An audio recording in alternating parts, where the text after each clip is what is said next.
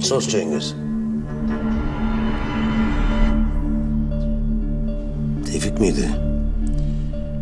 Nasıl girdi içeri garsonların arasına? Eyşan? Bana mı soruyorsun? Ben nereden bileceğim ki? En az benim kadar güven dedin Şebnem'e. Onun tuzağına mı düştük? Bak e, onu da kandırmışlar. Zorladım. Başka bir şey olsa konuşurdu Kenan. Yoksa ikinizin tuzağına mı? Bak, Yeter! Siz beni anlamadınız. Herkese ihanet etmeye o kadar alışmışsınız ki... ...kime sadık kalacağınızı şaşırdınız. Benim ne aptallarla ne de casuslarla işim olur. Ben sağ kolumu kaybettim bu gece. 20 yıldır en güvendiğim adamımı.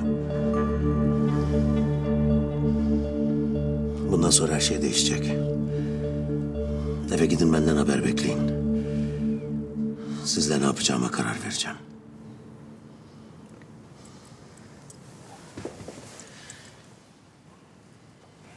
Kenan bir bana... Eyşan çık dışarı.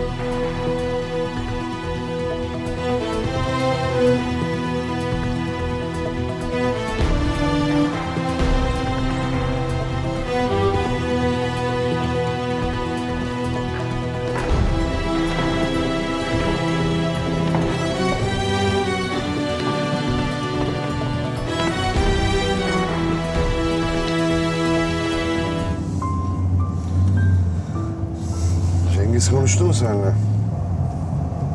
Ne olacak? Psikopat katilmişim gibi davranma Beyazıt. Bir şey yapmayacağım söyle. Tamam konuştu. Yanıma geldi. Hamile olduğunu biliyordu yani. O planladı. O yolladı Temmuz'u sana. Bir tek onu yapmadı Ali. Başka? Ne var? Geldiğinde muayenehanenin önünde oturuyordum. Ee, O vazgeçirdi beni. Kürtaja gitmiştim hani Cengiz vazgeçirdi. Cengiz'le. Onunla konuştum. Şimdi bizim o, o bebek katili dedi diye mi çocuğumuz oluyor? Çok güzel. Çok güzel. On numara. Cengiz el attı ya. Şimdi şahane bir aile olacak bizden. O ne demek ya? Tereddütün mü var senin? Olmaz mı aile bizden? Ben şimdi o Cengiz'in ağzını yüzünü... Allah aşkına Ali başlamayalım yine değil mi? Tamam tamam kapışmayalım. Cengiz de yok dert yanacağın. Ali! Tamam. Sustum. Sustum.